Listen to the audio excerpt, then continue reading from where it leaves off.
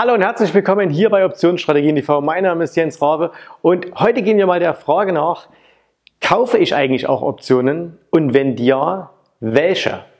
Die Antwort jetzt im Video.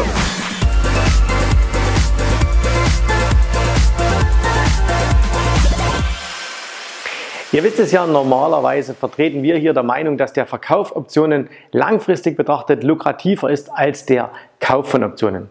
Das schließt aber natürlich nicht aus, dass es auch hin und wieder mal Sinn macht, Optionen zu kaufen. Und äh, jetzt gibt es ja grundsätzlich, wenn man Optionen kauft, zwei Möglichkeiten. Zum einen kann man sagen, okay, ich kaufe Call-Optionen, das heißt, ich setze auf steigende Kurse, oder aber ich kaufe Put-Optionen.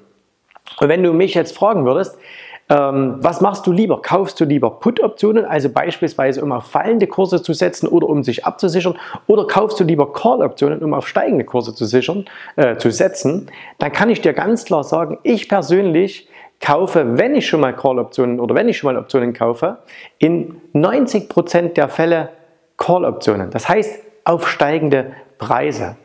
Und der Grund dafür, den siehst du ja hinter mir an diesem Chart. Und zwar ist das der Chart, des S&P 500. Jetzt einfach mal einen Wochenchart genommen über die letzten zwei Jahre ungefähr und da fällt dir vielleicht etwas auf. Und zwar, wenn wir ähm, uns mal die Bewegungen anschauen, ihr wisst ja, der Markt, der geht entweder hoch oder der geht entweder runter. So, manchmal geht er auch ein bisschen seitwärts, aber entweder es geht hoch oder es geht runter. Und die Bewegungen, die könnte man ja sowohl als auch mit Optionen umsetzen. Aber, und das ist der entscheidende Punkt, wenn ihr euch mal anschaut, diese Aufwärtsbewegungen hier, die sind relativ lang. Auch hier wieder. Das ist eine relativ lange Aufwärtsbewegung. Auch hier davor eine relativ lange Aufwärtsbewegung. Wenn wir uns dagegen anschauen, wie schnell gehen denn, wenn die Märkte mal runtergehen, wie schnell gehen sie denn runter, dann sehen wir das hier, dann sehen wir das hier und das sind immer sehr, sehr schnelle Bewegungen. Und da könnte man natürlich jetzt sagen, okay, bei einer schnellen Bewegung geht auch schnell die Volatilität hoch und damit wird natürlich, wenn du Put-Optionen oder besser noch äh, oder vielleicht auch ähm, Put-Spreads gekauft hast, umso mehr profitierst du davon, weil ansteigende Volatilität lässt natürlich auch den Preis der Option ansteigen. Und das stimmt erstmal grundsätzlich. Mein Problem dabei ist aber, dass wenn es nach unten geht, muss das Timing ziemlich gut sein. Das heißt also, du hast einen Markt und der bricht jetzt nach unten ein. So. Und dann geht es sehr, sehr schnell nach unten. Also wir sehen, Abwärtsbewegungen sind immer schneller als Aufwärtsbewegungen. Das ist logisch. Ne? Du kommst auch schwerer eine Treppe nach oben als eine Treppe nach unten. Roll mal, ihr kennt diese Geschichte, äh, wo, der, wo der eine immer diesen Stein, äh, ich glaube, wie, wie, heißt der? Ähm, schreibt mir das mal rein. Wie heißt der, der immer den, den, äh, die, den Stein auf den Berg rollen, hochrollen muss, dann rollt es wieder runter, dann muss er wieder hochrollen. Ne? Es geht viel schneller nach, äh, es geht viel langsamer nach oben, als es dann nach unten geht. So. Und das bedeutet, du musst, wenn du einen, wenn du einen Put kaufst, viel, viel besser im Timing sein. Das heißt also, du musst den Punkt, wo du sagst, okay, hier gehe ich irgendwann short und hier decke ich auch mal wieder ein, ne? das musst du viel präziser timen, als wenn du beispielsweise sagst, ähm, der macht hier ein neues Hoch, ich gehe hier irgendwo halt äh, long, kaufe von mir aus Call-Optionen, naja, und dann habe ich eben eine gewisse Zeit, um davon auch zu profitieren. Bedeutet also, ich habe es leichter auf steigende Kurse zu setzen mit einer gekauften Call-Option oder mit einem Call-Spread, als auf fallende Preise zu setzen. Und wie gesagt, das Argument, was jetzt vielleicht der eine oder andere bringen wird, aber runter zu lohnt sich ja mehr, weil dann die äh, Optionen hier in der Regel sehr, sehr günstig sind. Ne? Wir sind lange nach oben gegangen, die Volatilität ist unten, jetzt sind die Optionen günstig, dann geht es nach unten. Das heißt, der Preis arbeitet für mich und die ansteigende Volatilität als Käufer von Optionen arbeitet auch für mich. Die ist vollkommen korrekt. Mein Problem, und ich glaube auch das Problem, was viele andere haben, ist aber eben dieses genaue Timing hinzubekommen.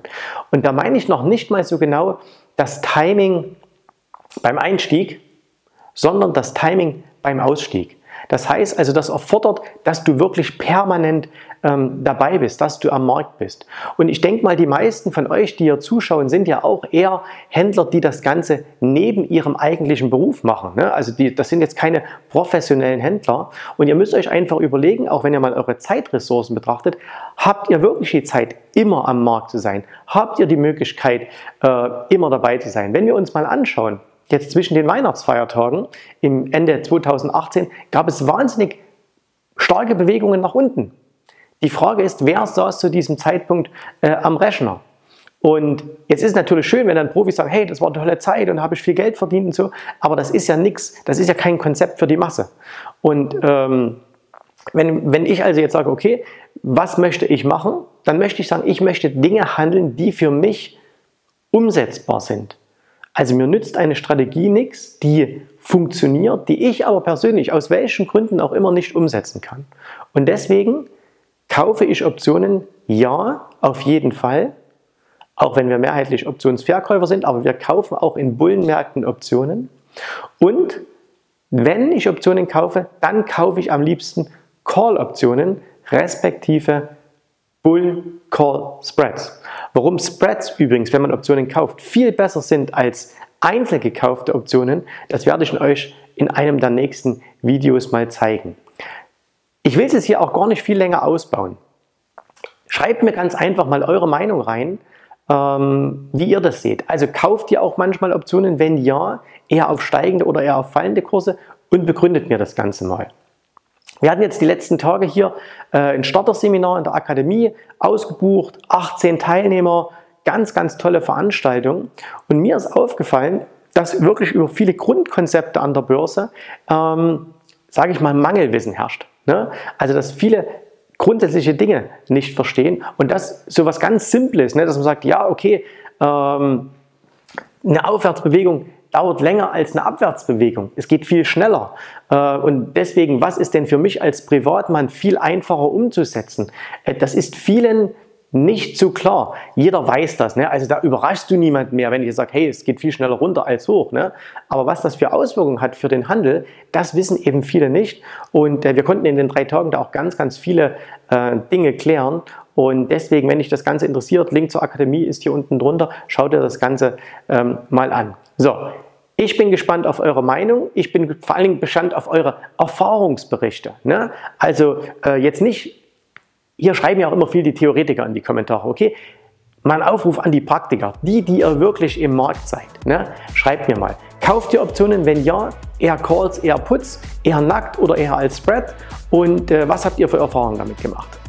Das war's für heute. Ich wünsche euch ein wunderschönes Wochenende. Wir sehen uns wieder nächste Woche. Bis dahin, tschüss, servus, macht's gut. Bye, bye.